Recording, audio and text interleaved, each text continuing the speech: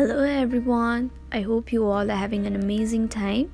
Today I'm back with another tutorial video and in this video I'll be guiding you guys through the steps of creating an account in PayPal Xoom. So let's get started. First of all open the app Xoom. After that tap on the option sign up with PayPal. While this is loading let me give you a short description about Xoom. Xoom is a PayPal service, which is a digital money transfer provider based in San Francisco.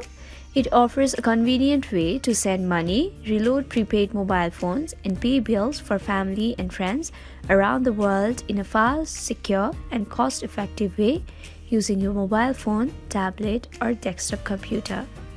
So let's get started and find out how we can sign up for Xoom. First of all, you need to select your country or region once you do that, enter the phone number. After that, tap on next.